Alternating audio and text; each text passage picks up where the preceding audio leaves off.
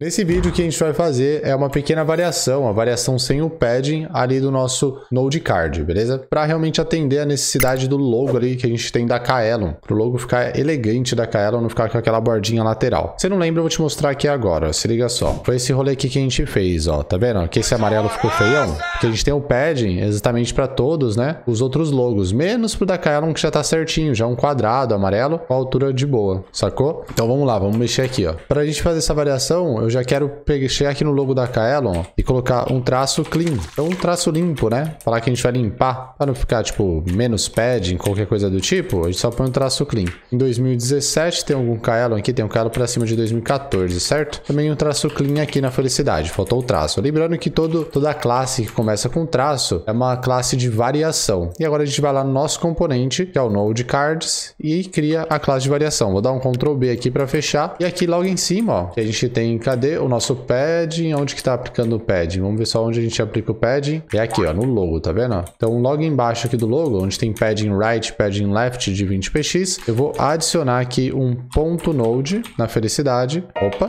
node, traço card, ponto logo. Mas só que, ah, eu tenho que pegar a variação, esqueci, né? Aí a gente tem que colocar aqui, ó, ponto traço, aí o nosso clean. E aí, sucesso. Aí a gente pode tirar do nosso logo o padding aqui. Aí eu vou tirar padding em todos os lados mesmo para facilitar, né? Não tem que escrever padding left nem padding right. Tira tira tudo que tiver e já era. Vamos ver se vai funcionar legal. Vamos dar um refresh. Opa, acho que eu fechei o Go Live sem querer. Deixa eu clicar no Go Live aqui de novo. Ó. Nosso saudoso live server. Deixa eu abrir o Firefox. Vamos rodar de novo, vamos ver se lá no final tá funcionando, ó. Olha lá, já funcionou, tá vendo? Então agora a gente já tem a variação ali quando a gente não quer um padding. Bem simples, bem tranquilo e fácil de dar manutenção, que é muito importante para o seu software ficar barato. Show? Valeu, obrigadão por esse vídeo e bora pro próximo. Cola lá.